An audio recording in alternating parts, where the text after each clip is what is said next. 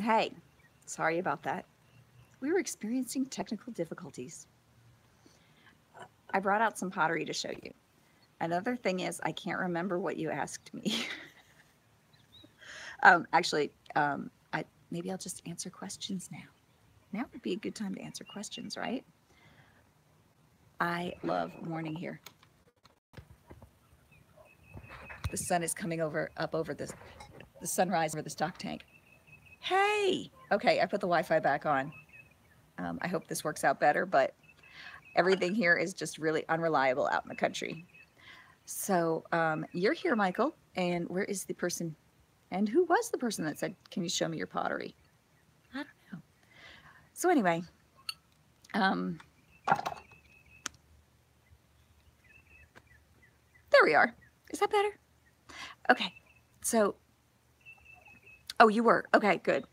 Okay. So let me show you my favorite recent. I'm sorry. I'm shaking the camera. My arm's getting a little tired from holding it. Here, I'll put it up again. Although I don't like the view from down here. So, I, there's something about my chin I don't like when the phone is low. So I love, I love the way this bowl came out. That you can eat some serious cereal out of this one, can't you? I could see that. But this is a glaze that I can only get from my studio that's in town. And so I don't use it all the time. So I'm saving up some pieces to take down. Thank you. Um, the edge, uh, it's warped. The It's not perfect. Thank you. Um, I, I, this is my first bowl that I ever got this large and it wasn't perfect. And it started to, while I was building it, it started to collapse a little on the sides because the clay's real wet. And so it started pulling down like this. And if you, so immediately I picked it up off the, uh, the pottery wheel and it sits on this round disc. And I turned the disc upside down and let it get its form back together. It dried it upside down for a while, like holding it. It was propped up on some stuff and it didn't perfectly reshape. As you can see, it's like, I don't know. Everybody else, everybody I show that to goes, it's perfect, it's fine.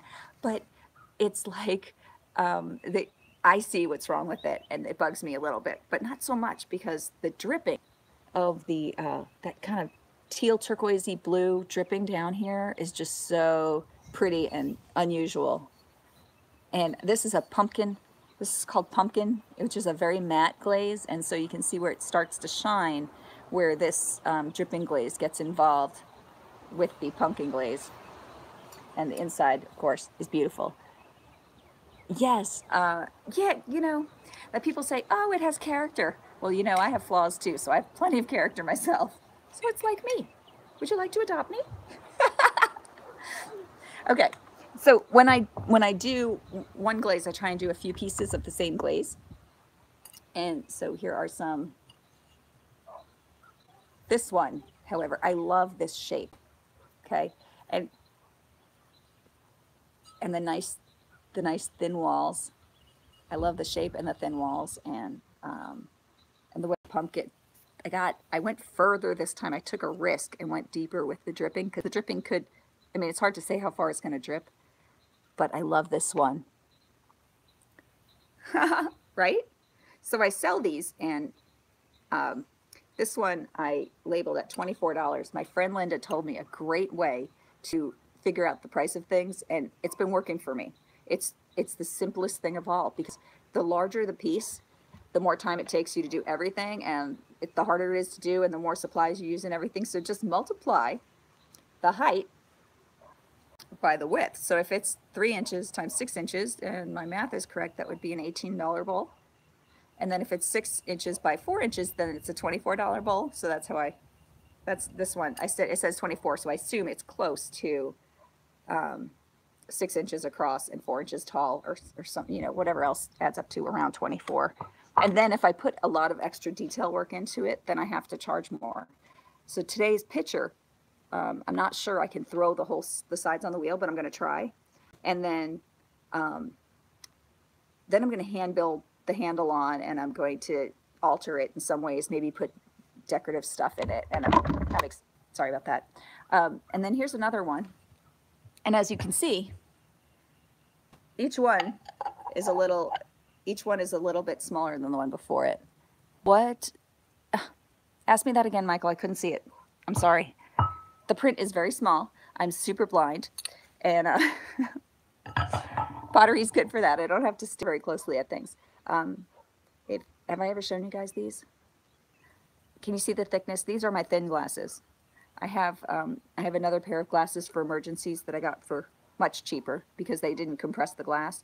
And my friends were the other day was like, "Oh my gosh, I didn't realize I totally." Wait, there goes. Ah! Why can't it just leave? Why can't it just leave your your question or whatever? Why can't it just leave it on the screen a little longer? It's driving me crazy. I took my glasses off and then you then you posted it. So I couldn't see it and I couldn't lean forward fast enough to see it without my glasses. I have um, about pretty close to 20/20 vision, about this far away from my eyes. My vision without glasses is 20 slash 2200. Is that backwards for you? You want me to write it backwards? 20 slash two. can't write backwards. Okay. So um so where were we going? So I've been um instead of focusing my energy on YouTube where I wasn't feeling great about the results. Okay.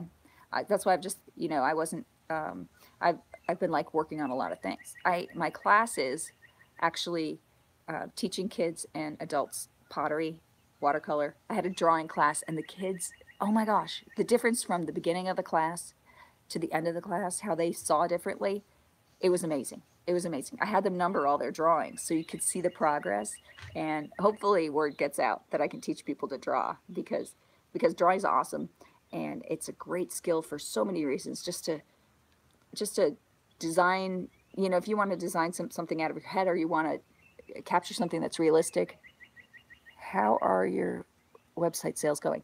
I have had zero website sales in ages. So I just don't even do anything with it. I mean, the website doesn't like it's there's no point in me going out there and adding new product to my website because nobody visits it and nobody buys stuff from it. So I don't even know what's up right now. Don't even care. Um, I used to do Etsy. I do, I do not enjoy Etsy at all. Etsy is Etsy's a place for crafters to be cutthroat and sell undersell their work to the next, you know, if you want to get ahead on Etsy, the best thing to do is sell the cheapest stuff you can and tons of it. And they also, um, I don't like the process of setting up something on Etsy. And I just feel like there's almost too much competition out there. So, what I'm finding that people want right now, as opposed to more stuff, is experiences and I think people are willing to pay for experiences, and that's why I've that's why I've changed my focus with my instead of like trying to sell so much pottery, um, which I would love. I mean, that would be my favorite thing, I guess. No, I, I do like teaching though, um, but I think it would be awesome if if I could just make whatever I wanted, and people would just oh I want that, and just give me money for it because that, and then I would um, you know pay off the last few of our debts, and we could go on vacation. um, with actual money that we actually owned that wasn't on loan from the bank. That would be like dream come true for me to to get ahead of this whole thing.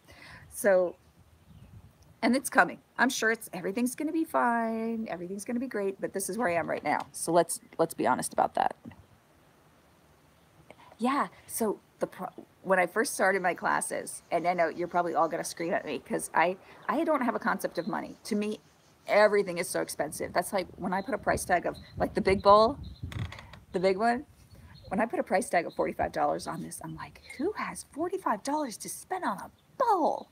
You know, I really think that way. And then I say, um, and and it's not. I don't think it's that I'm like so cheap. I mean, I want to pay artists what they're worth, but but when I think about like when I thought about art classes, I was like, how am I going to break into this market? How am I going to get people to come? So I started my art classes at $7 per session, no supply fee.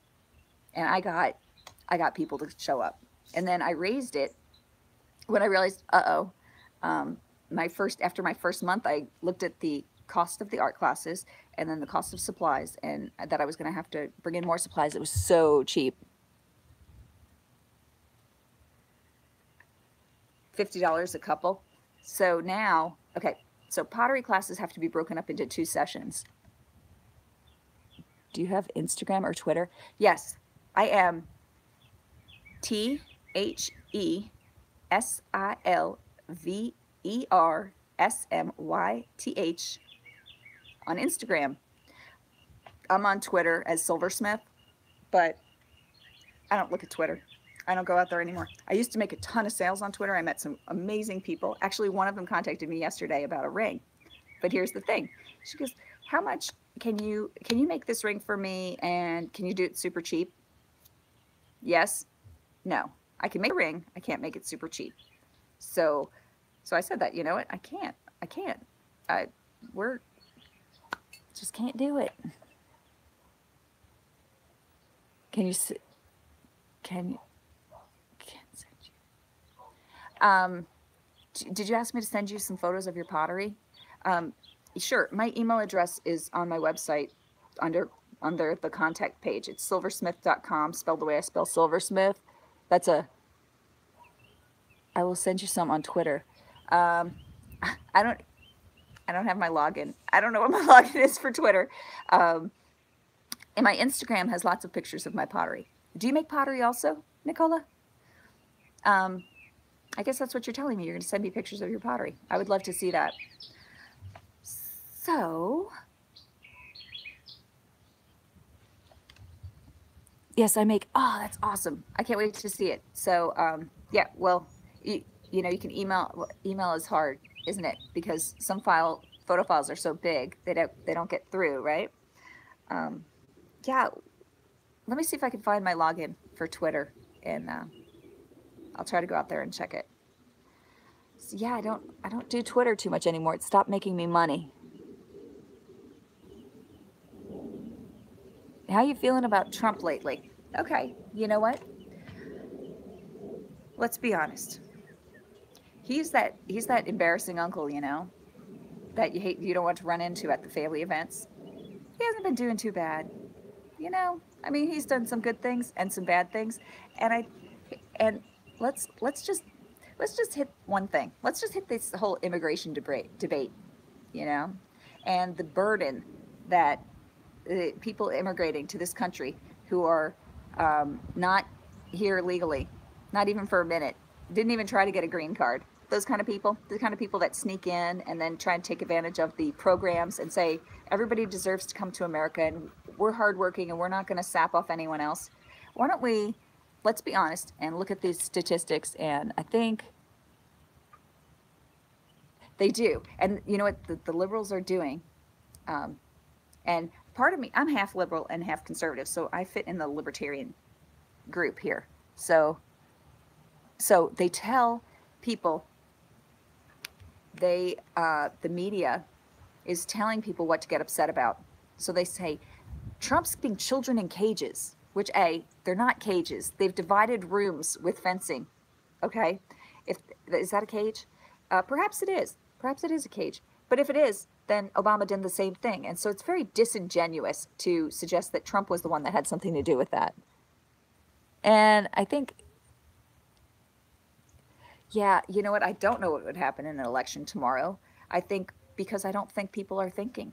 I don't think people are thinking for themselves. So anything could happen, and we could end up with a Bernie Sanders or or Bernie Sanders himself, and that would be pretty devastating because Bernie Sanders, uh, I'm pretty sure he thinks Venezuela is a model country. Like, oh, they just didn't do socialism right. Like, if you just do socialism right, everything's going to be okay. Well, it's not okay.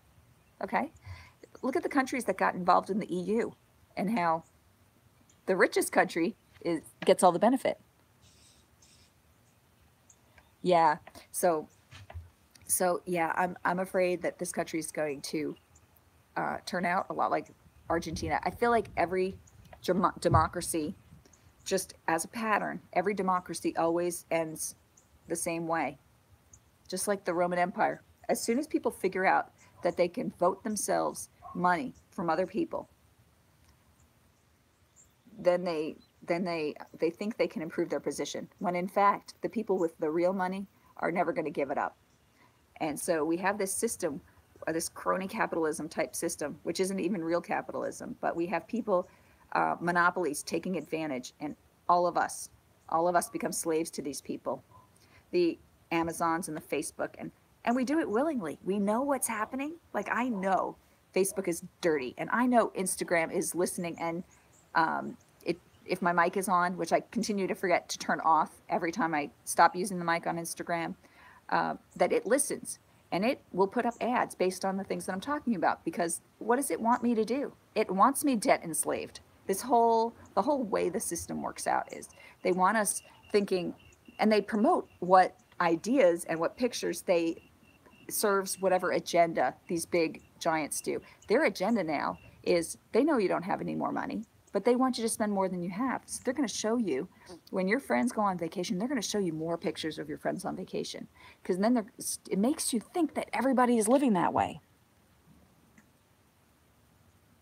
Uh, true. I wondered about that, Michael. Um, he said you only think you can turn your microphone and your location off. So yeah, so I'm I mean, I'm not really happy with the way things are going, and that is one reason why we prepare as a family. Like we make sure that we know how to grow grow our own food, at least some of it, you know, at least something, so that if something if things go wrong, um, that we have we have some food to fall back on, you know, and if um, and some people, Lynette Zhang for one, is talking about the mortgage reset. She said when the when when our when the U.S. dollar finally collapses, it is only worth uh, 3.99 percent of what the U.S. dollar was worth in the 70s. So, hang on. I don't want to look at that, Michael. Yeah, they know where you've been. They know what your interests are. Every book that you've wanted to read, Amazon knows about it. They keep a record of that. They have a profile of all of us. Okay. And as we looked, as we learned from Facebook, your profile is for sale. You're the product. Amazon knows us so well that we're also a product to Amazon. Like it's a two-way street. To the seller, Amazon, look, we have all these people who look at our who look at Amazon. We have all these people who and we know all about them so we can advertise your product directly to them.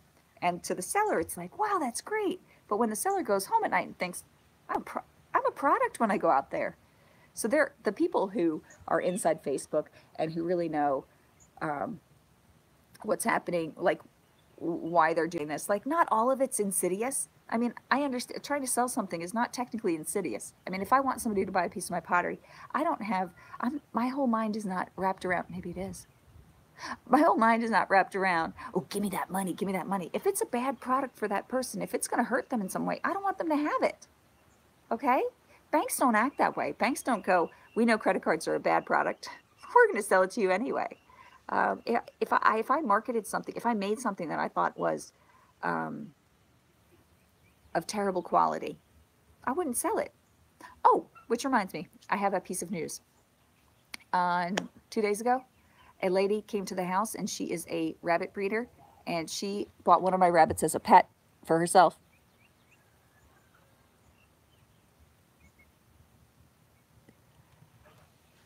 I've complained about this before, but you know how expensive it is for me to ship something overseas?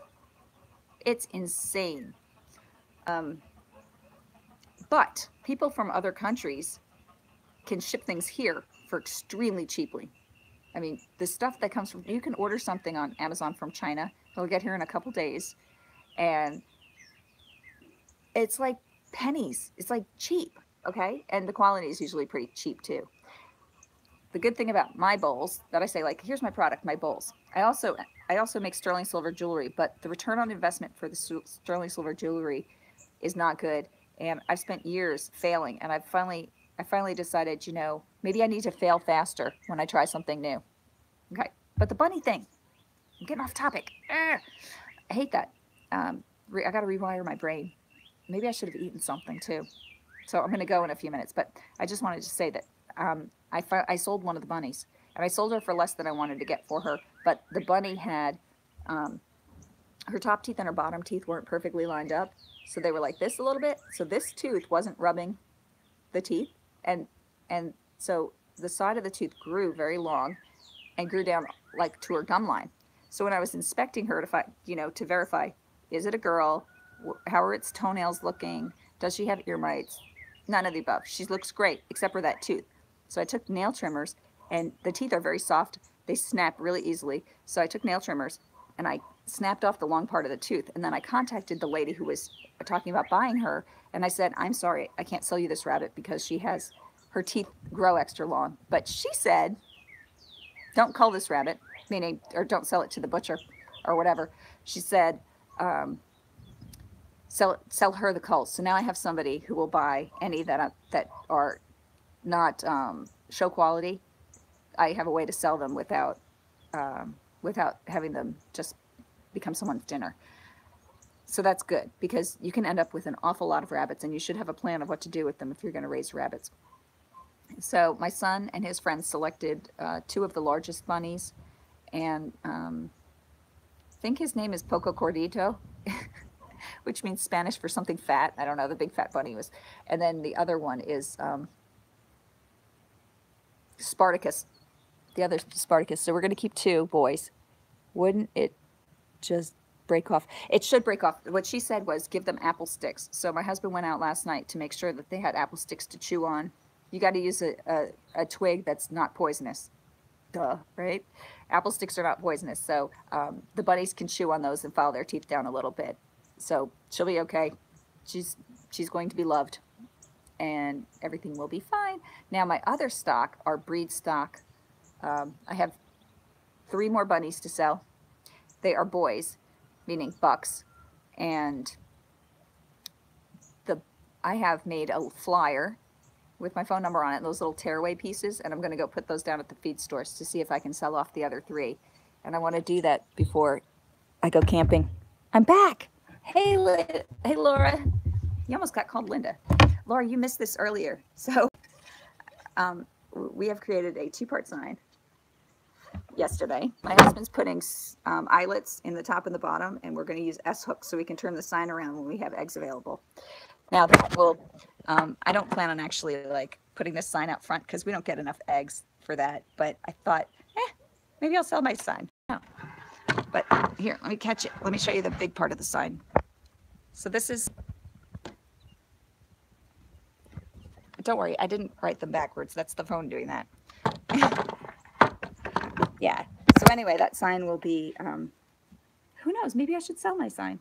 I really, really enjoy sign painting. Like that's just really relaxing for me to just, I paint a line. If it's not perfect, I paint it the other, I paint, you know, I, I correct it with the other color and then I paint back this color. Okay. Yeah. So we have, we only have um, nine chickens that are laying right now, and only two of them actually got to work yesterday. Unfortunately. I mean, the babies, obviously, they don't lay until they're six months old, almost to the day, which is really cool. Anyway, I need to go get um, something to drink and something to eat. And I think I've spilled the beans on almost everything that I've been going through. um, and I'm, I want to do more live streams, and I really in the summertime, I really like morning for live streams because um, I can be by myself. Bye, Julie. Take care, honey. Oh, thanks, Michael. Always so kind. Okay. Bye, Laura. So good to see you. I'm glad you came back. Uh, I don't know if you still watch any of my videos, but some of them are good. Bye. Yeah, everybody try and catch up on my old videos. Take care, and I will see you soon. Bye.